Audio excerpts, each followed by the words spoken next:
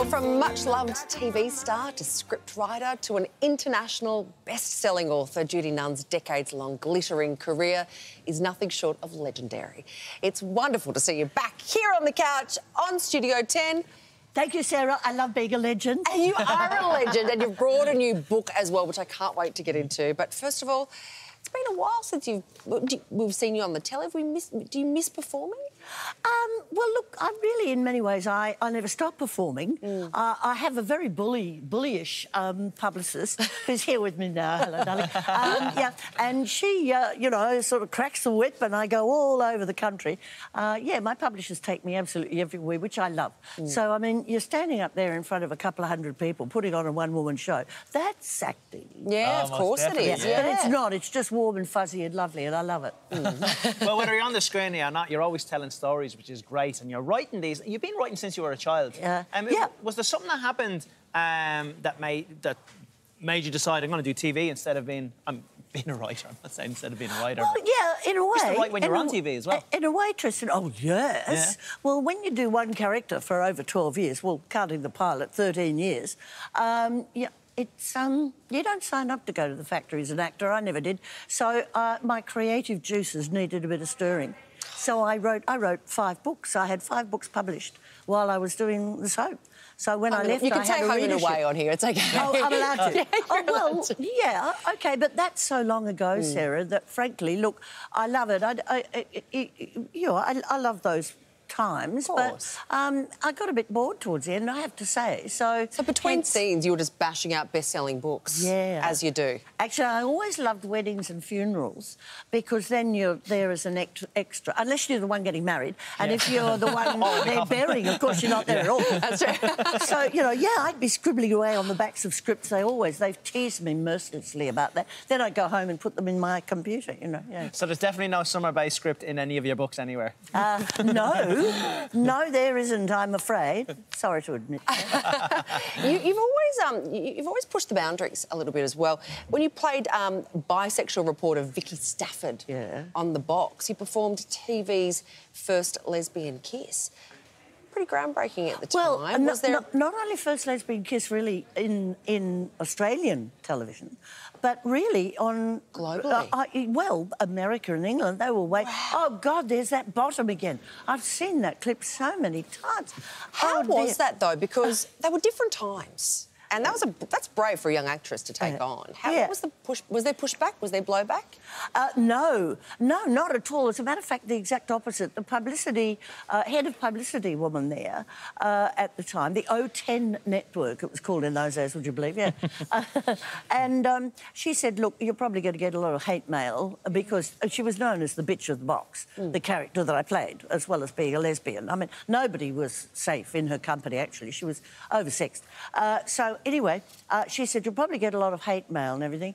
And I never got. I, so she said, Do you want me to field it? I said, No way. If somebody wants to write to me, I'm going to read it.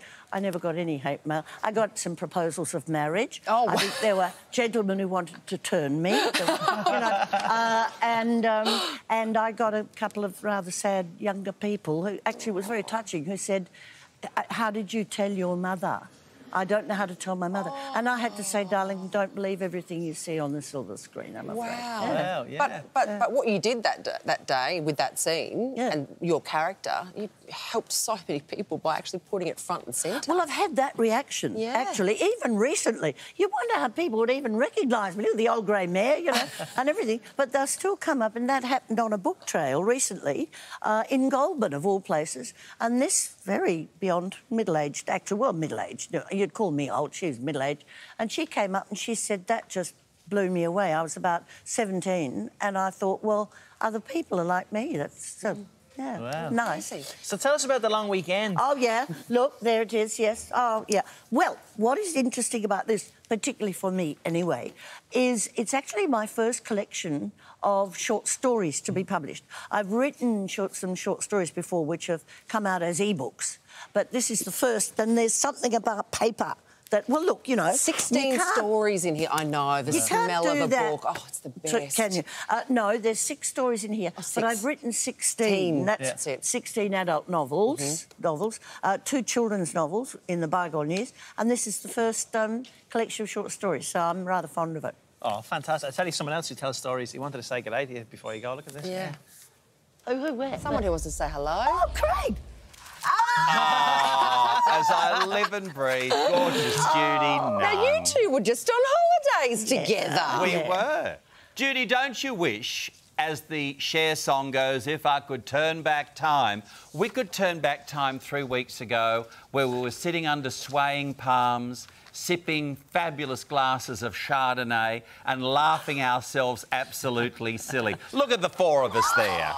God, I look like a dwarf, don't I? Now, that's the part that I remember most, Craig, darling, is those gorgeous days and days and days of, of uh, snorkelling over those beautiful, those beautiful reefs with all those gorgeous. Oh, and there's Brucey too, over those gorgeous uh, uh, fish strewn and. Oh, It doesn't, Didn't doesn't we look have like fun? doesn't look like much reading. Summer reading was done on that Yeah. holiday, which is I, the di- sign. I didn't read anything. I was too busy laughing. Just the back of the bottle. man. Just the back of the, the bottle Yeah. label. Oh, we read a menu, didn't we, Jude, for Yeah. breakfast, lunch, and tea? You know, the mud crab omelettes and all of that Oh, yeah. gorgeous stuff. Spanner and we crab. read about. Spanner and crab. we read about what we were going to see on the reef the next day, mm. be they sharks or sea snakes Yeah. or, or beautiful tropical fish. But I mean, don't you really wish we could be back there with our little bit of liku liku?